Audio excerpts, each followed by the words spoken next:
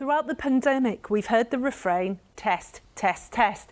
We're no longer just testing those with symptoms, we're testing those without them too. And now the government has announced that schools are going to start mass testing asymptomatic teachers and pupils from January with lateral flow and PCR tests both being used. Both of these need swabs to be taken, but only PCR needs a lab. The test will determine if a child can continue at school or they and their family have to isolate. Dr Angela Raffle has worked as a consultant to the UK national screening programmes. She says the benefits and harms of this kind of scheme are not yet properly known. Newsnight has reported the concerns of a number of scientists about the accuracy of these lateral flow tests, in particular when administered by people who are not health professionals. Some studies have shown they appear to miss half of positive cases.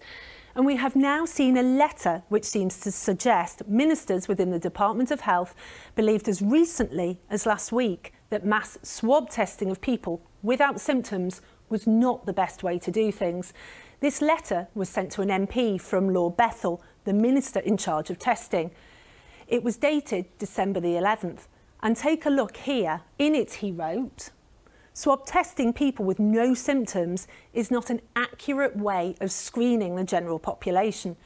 He added widespread asymptomatic testing could undermine the value of testing as there is a risk of giving misleading results. We put the contents of the letter to the Department of Health, which told us that Lord Bethell was responding specifically to a question about blanket PCR testing and said the government is committed to using lateral flow tests in community testing to break chains of transmission. But the government's own studies suggest PCR tests are more accurate than the lateral flow ones being rolled out in schools. We asked the government to comment on Lord Bethell's assertion in the letter that widespread asymptomatic testing could undermine the value of testing those with symptoms, but the department didn't respond. There's also another question about the utility of testing in schools. Are children the main drivers of transmission? Today's figures question that idea. Data show that in schools, where infection levels locally were among the top 20% in the country at the time, we can see that 1.18% of primary pupils, that's around 1 in 85, and 1.73% of secondary pupils, that's around 1 in 58, tested positive. It's important to say that obviously this excludes any children who were not in school who may have had COVID or been in contact with someone with COVID.